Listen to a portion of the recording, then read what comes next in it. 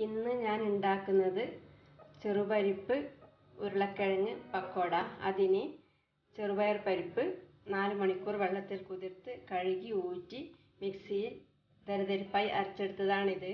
ഒരു കപ്പ് ചെറുപയർ പരിപ്പ് ഞാൻ എടുത്തിരുന്നു. അതൊരു ബൗളിലേക്ക് എടുക്കാം. ഇനി അതിലേക്ക് ഒരു ഉരുളക്കിഴങ്ങ് വേവിച്ച് ഉടച്ചതാണ്.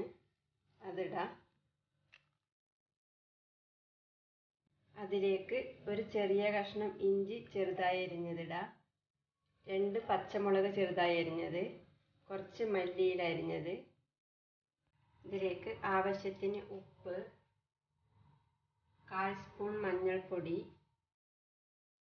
അര സ്പൂൺ മുളക് പൊടി കാൽ സ്പൂൺ കായപ്പൊടി ഒരു നുള്ള് സോഡാപ്പൊടി. ജീരകം കടിക്കാൻ ഇഷ്ടമുള്ളവർക്ക് ജീരകം വേണമെങ്കിൽ ഇടാം. ഞാൻ ഇടുന്നില്ല ഇനി ഇതെല്ലാം കൈകൊണ്ട് കുഴക്കാം നല്ലോണം. ഇതെല്ലാം കുഴച്ച് വെച്ചിട്ടുണ്ട്.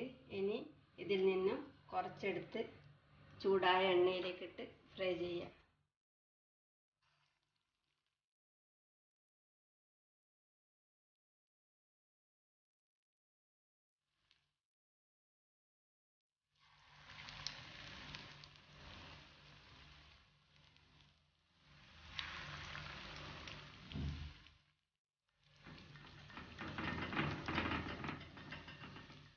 ഒരു സൈഡ് ഫ്രൈ ആകുമ്പോൾ തിരിച്ചിടാം.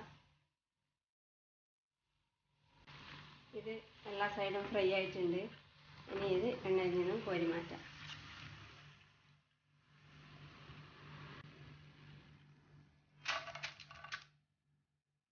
എല്ലാം ഇതുപോലെ ഫ്രൈ ചെയ്തെടുക്കാം.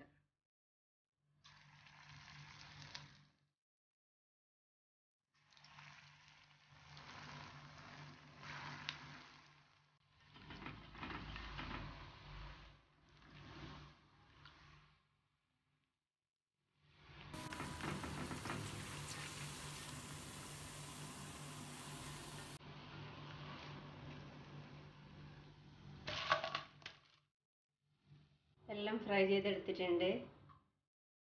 ചെറുപരിപ്പ് ഉരുളക്കിഴങ്ങ് പക്കോട റെഡിയാണ്. Thank you.